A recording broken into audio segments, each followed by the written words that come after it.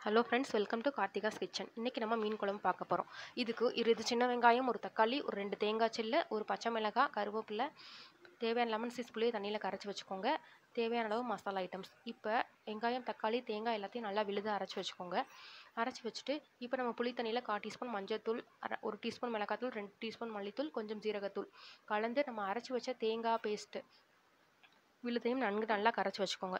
இப்போ கரைச்சிட்டு ஒரு வடை சட்டியில் எண்ணெய் ஊற்றி கடுகு வெந்தயம் கருவேப்பிலை தாளிச்சிட்டு நம்ம அரைச்சி வச்சுருக்க விழுதை அதில் ஊற்றி உப்பு தேவையான உப்பு சேர்த்து நல்லா கிளறி விட்டுக்கோங்க. இதை வந்து ஒரு பத்து நிமிஷம் ஹை ஃப்ளேமில் கொதிக்க விடுங்க. நல்லா கொதி வரட்டும். கொதி வந்ததுக்கப்புறம் ஒரு அஞ்சு நிமிஷம் ஸ்லோவில் வச்சு எண்ணெய் பிரியட்டும். இப்போ குழம்பு நல்லா கொதிக்கட்டும். கொதிச்சது முடிஞ்சதுக்கப்புறம் இப்போ எண்ணெய் பிரிஞ்சு வந்துருச்சு. இப்போ இந்த எண்ணெய் பிரிஞ்சு வர இதில் வந்து நம்ம வச்சுருக்க மீன் துண்டுகளை வந்து மெதுவாக போடுங்க. இப்பவும் மீன் போடும்போது நல்லா சிம்மில் வச்சுக்கோங்க. இப்போ சிம்மில் போட்டு மீன் துண்டை நல்லா போட்டு ஒரு பத்து நிமிஷம் அதை நல்லா கொதிக்க விடுங்க. இப்போ மீன் வந்து நல்லா வேகட்டும். இப்போ சிம்லேயே ஒரு பத்து நிமிஷம் மீன் நல்லா வேகட்டும். வெந்ததுக்கப்புறம் பார்க்கலாம். இப்போ மீன் நல்லா வந்து எண்ணெய் பிரிஞ்சு வரவும் நம்ம கருவேப்பிலை தூவி இறக்குனா சுவையான மீன் குழம்பு ரெடி ட்ரை பண்ணிட்டு உங்கள் ஃபீட்பேக் சொல்லுங்கள் ஃப்ரெண்ட்ஸ்